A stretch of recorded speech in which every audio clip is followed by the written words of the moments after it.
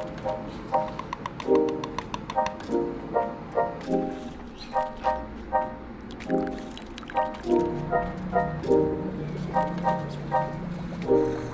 up Bodyweight Warriors and welcome back to another video and today it's going to be another day of eating. We haven't done one of these in so long.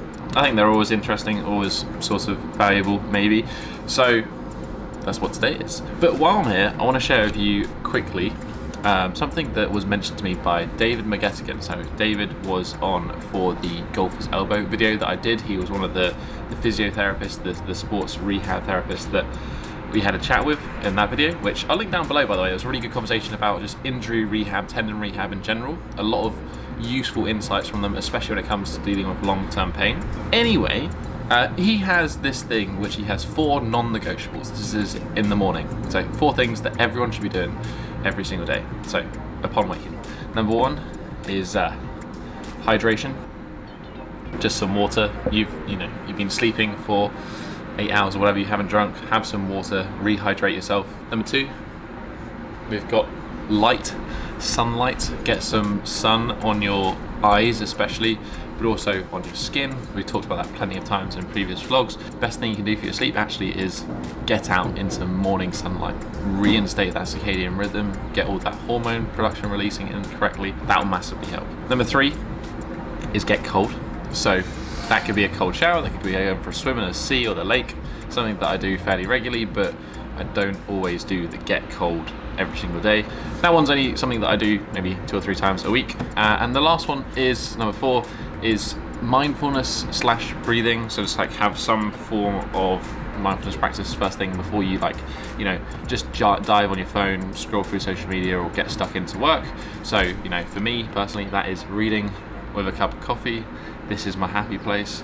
I am reading Man and His Symbols by Carl Jung. This is book club number five. So if you want to join the book club, grab a hold of this book. It's gonna be, I think it's gonna be a journey. But equally, it could be, you know, doing doing some journaling, um, just doing some meditation, doing some breathing practices, any of that sort of good stuff. I just wanted to share with this with you, not that this is any point of the video today, but I just thought it was a really uh, nice, simple four things to focus on each morning that really would have a massive impact for the day.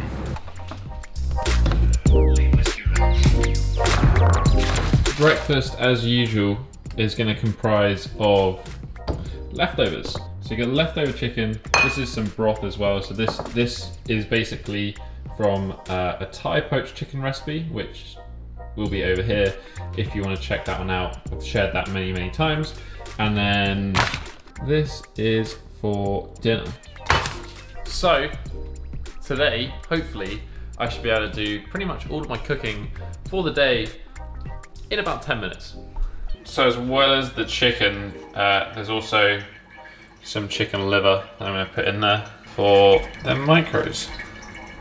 So while that is just heating up, as I said, I've got some uh, brisket here. This is not the best way of buying brisket, by the way. I just happened to be in the shop to grab it. If you go to your butcher's, they'll be able to give you a nice big cut, but brisket's a, a great kind of cheaper cut, generally around 10 pounds per kilo, and absolutely incredible when you slow cook it. So all I'm gonna do is be super, super lazy. There's this smoky barbecue, like uh, spice mix.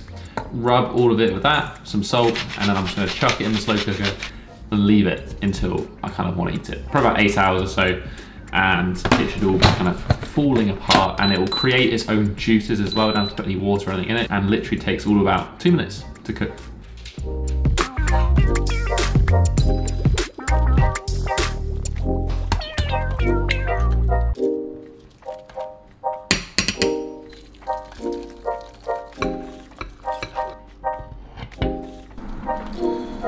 So, breakfast.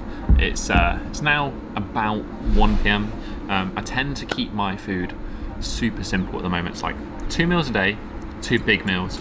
Kind of have one about lunchtime and then one in the evening. That's it. Maybe like a snack in between. But it's just, you know, one less thing to worry about at the end of the day. Usually breakfast leftover and then whatever I cook dinner, I generally have for leftovers the next day. Right here, we've got about 250 grams of cooked chicken meat, mix of breast and thigh.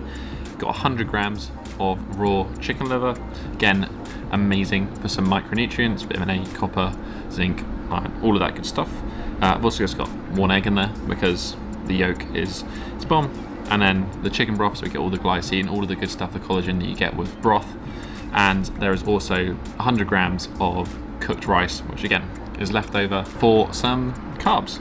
Um, I am going for a little bit of mass gainer at the moment and also because it's summer there's more light I'm generally just having a little bit more carbs in my diet and then as we get into winter things tend to shift a little bit more to that low carb not necessarily keto but certainly on the lower carb side so according to MyFitnessPal this meal right here is 110 grams of protein 80 grams of carbs and only 40 grams of fat. There's a little bit of coconut milk here. Usually I would like the fat to be a lot higher in this meal and that would also bump the total calories up quite a lot because there's only about 1200 if I'm only eating two meals a day each meal needs to be like minimum 1500 but we'll have a snack later on. I don't usually count macros I just kind of know that my usual meals are roughly around this amount. You know fill the bowl and it's going to be a decent amount of calories.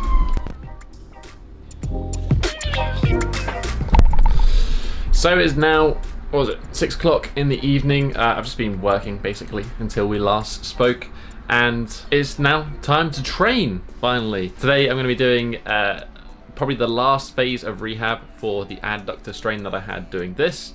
Again, not SPA, don't do that at home kids. Um, something to, to mention very briefly is that technically it's been like five, hour, five hours since I last ate which some people may be like, okay, there may be a need for like a pre-workout sort of food, something to sustain you through training. But I've kind of found that I think that is more psychological than it is physiological, especially if you have a meal that stabilizes your blood sugar well, something that, that is appropriate for yourself depending on uh, your insulin sensitivity, etc. Uh, and I found with going higher meat based, a little bit lower on the carb side, I don't tend to feel hungry as I said, the two meal a day thing kind of works well for me. So yeah, you could chuck something in here if you wanted to, but I decide to train and then eat all the food after training.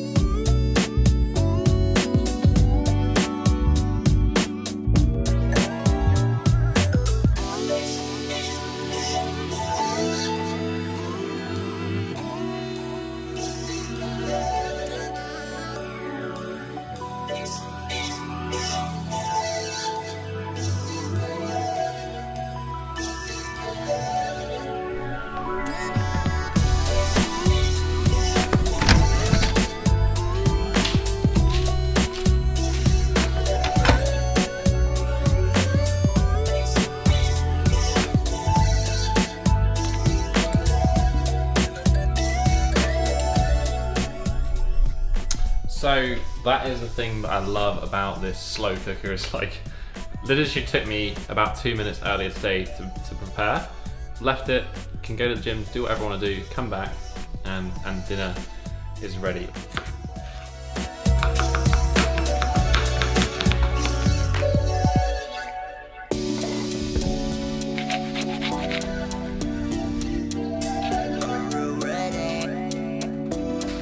So because it is uh, to be basically at 9.30 by the time I end up eating, which is a little on the late side for me, uh, I'm to have dessert because I always treat myself to some dessert. I have that now, which is, um, I'm a big fan of these, which are these like coconut collaborative. They're like kind of okay, semi-healthy, like chocolate pudding cups. Have that with banana and the greatest of all time, Pip & Nut almond butter. That is there's uh, also kiwis are highly underrated fruit. But anyway, macros for this, I have no idea, but it's at probably about 60 grams ish of carbs. It's, it's on the screen now, in case you're wondering. Um, but other than that, I'm gonna grab dinner whenever it's ready.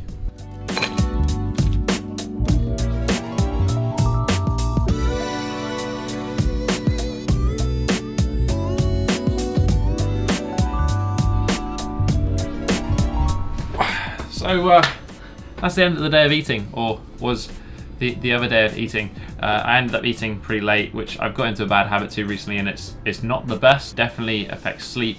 Heart rate tends to be a bit elevated earlier on in the night just from eating late. Um, it's a habit that I'm trying to get out of, but definitely struggling. And, and certainly when it's summer and it's like still light outside, it's pretty hard to eat at like 6 p.m. Uh, macros for that final meal ended up being uh, 118 grams of protein, 130 grams of carbs, about 50 grams of fat for a, a total of 1500 calories, which is a pretty hefty meal. Helped out, certainly was a bit of a mountain, but as I said, tends to be how I like to split up my eating, just two big ass meals. That brought the total for the day to 250 grams of protein, 280 grams of carbs, and 127 grams of fat. Now this is probably a little bit lower on the fat than I would personally like. Usually I get a little bit more, but just happened to be the case. Like having chicken for breakfast is, is a lot leaner meat than beef or lamb or something that I'd usually have. Um, but then again, carbs are a little bit higher as well, so it kind of balances out because at the end of the day, it was about 3,300, 3,400 calories, which for me is kind of in that sweet spot for gaining weight. If, if I'm hitting 3,300 to 3,500, I'll generally gain weight at a pretty steady pace. Um, I obviously could gain weight and size much quicker, but I'm just not a massive fan of, of doing the aggressive bulks simply for the reason that I just don't enjoy it. And I like to enjoy my food. I don't enjoy stuff in my face. As long as I'm eating enough to, to gain and, and move forward, that's great. Also, uh, for those of you, maybe 250 grams of protein seems a little high or a little excessive. Uh, I would say MyFitnessPal tends to bias this a little bit more because it's counting um, thing the protein from like I don't know the oat milk or or the potatoes or the rice and, and all of these other little bits and factors. Whereas personally, if I'm like mentally thinking about my food for the day, I'm only going to count uh, protein from meat or eggs or fish. You know, your, your primary sources. I wouldn't be counting any of the protein from secondary sources just because the bioavailability is is nothing in comparison. As always guys, if you have any questions or want to just leave your opinion please do so in the comment section down below. Join the conversation and uh, maybe let me know what you'd like to see in future of eatings, more recipes, all that sort of good stuff. If you just enjoyed this video, hit that thumbs up button and support the channel. Right next to it is that subscribe button if you want to join the D Bodyweight Warrior tribe. Don't miss out any more future videos. But apart from that, I'll catch you next one. Have a strong week